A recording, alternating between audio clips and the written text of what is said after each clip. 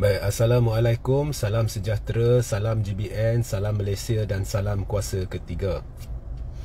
Baik, uh, saya ada satu persoalan yang ingin saya ajukan kepada kerajaan pimpinan Datuk Seri Anwar Ibrahim. Okey. Jadi jika audio clear, sila message maklumkan kepada saya ya.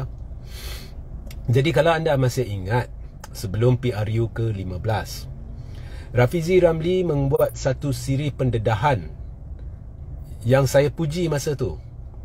Berhubung skandal LCS, malah Rafizi telah mendedahkan dokumen-dokumen termasuk laporan-laporan rasmi yang menunjukkan dengan jelas terdapat satu komplot konspirasi yang tidak uh, melibatkan unsur-unsur yang tidak sihat malah mungkin Uh, bersempadankan salah guna kuasa rasuah dalam skandal uh, S, uh, LCS kapal pers, uh, yang yang dijanjikan itu tapi tak siap tu dan sebagainya. Dan di dalam pendedahan Rafizi menunjukkan dengan jelas ada sesuatu tidak kena di bawah kepimpinan Zaid Hamidi ketika Zaid Hamidi Menteri Pertahanan. Malah Rafizi telah membuktikan bahawa ada perkara-perkara yang tidak masuk akal yang telah dilakukan di bawah uh, kepimpinan Zaid Hamidi di mana contohnya kapal yang ditempah oleh pihak angkatan tentera spek dia satu spek yang diperlukan. Tetapi yang diluluskan di bawah kementerian Zaid adalah spek yang sebenarnya tidak diingini oleh angkatan tentera dan ianya diberi kepada syarikat-syarikat yang tidak ada kepakaran. Ianya melibatkan syarikat-syarikat tambahan yang sebenarnya tidak harus terlibat yang hanya melambung kos. Jadi benda-benda ni berlaku di bawah pentadbiran Zaid Amidi dan semua ini telah menjurus kepada satu kerugian yang cukup besar kerana pembinaan kapal itu terkendala dan bahan-bahan sampai tetapi bahan-bahan itu sudah dikira habis jangka hayat dia.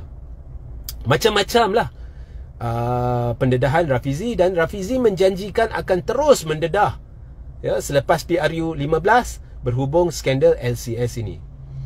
Tetapi selepas PRU 15 kita lihat tidak ada siasatan dilakukan terhadap Zaid Amidi. Kita lihat kerajaan ini banyak melakukan siasatan. Malah bila saya keluar dan saya duduk minum bersama orang-orang kampung, ya, semua orang setuju bahawa kalau kita fikir kerajaan ini, kalau mereka fikir berkenaan kerajaan ini, perkara pertama terlintas dalam pemikiran mereka adalah ini kerajaan dendam, ini kerajaan siasatan. Yang kita dengar hari-hari siasat ini, siasat sana, siasat sini, siasat sana. Yang hari-hari kita dengar dakwaan, dakwaan, dakwaan ini, dakwaan itu daripada Anwar termasuk daripada Anwar dan itu pun nilai dia sentiasa berubah.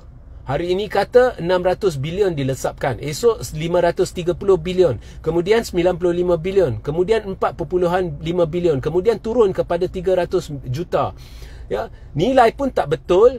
Anwar dakwa ada file, ada ini, ada itu, nilai dia pun tak tetap.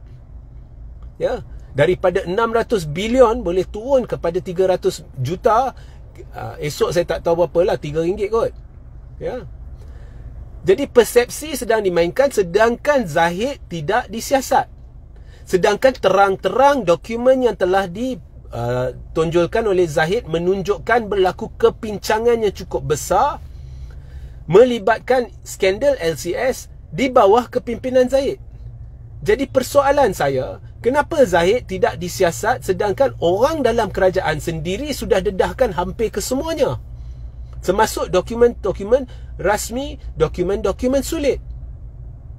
Kenapa hanya bermain persepsi dengan nilai-nilai siasatan pun sentiasa berubah-ubah sedangkan benda tu hitam putih sudah didedahkan oleh orang depa sendiri tetapi orangnya bukan hanya tidak disiasat malah orangnya tu dinaikkan menjadi timbalan Perdana Menteri. Inilah yang rakyat perlu tanya kepada Anwar Ibrahim. Ya. Ha, so itu sahaja mesej saya. Sehingga kita berjumpa di lain masa. Assalamualaikum, salam sejahtera, salam GBN, salam Malaysia dan salam kuasa ketiga.